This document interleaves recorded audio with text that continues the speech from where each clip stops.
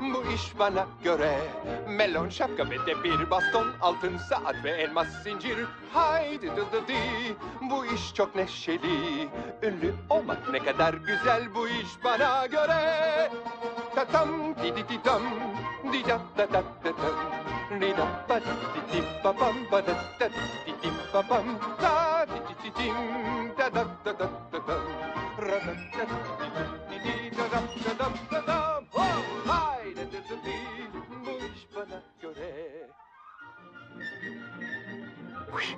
Benden ancak bu kadar vicdan olur. İlk günden geç kaldım. Neyse. Okulla ev arasında başım belaya girmez. Yaşasın! Eğlence! Haydi dı di, bu iş bana göre. O, Bir pos bıyık ve kunduz kürkü minik araba erkek keçi. Ama bu Pinokyo. Hey, nereye gidiyorsun? Neşeli, bir yastık saçların altında gezersin. Durun. Dört arabada durup Durun dedim. dükkana. Bu Dur, iş bana bekleyin. göre. E, Pinokyo. Dedi, Bu iş bana göre. Pahalı yerden gelir Hey, Pinokyo. yanında gazoz ve leblebi. Ah, bu da neydi? Huhu!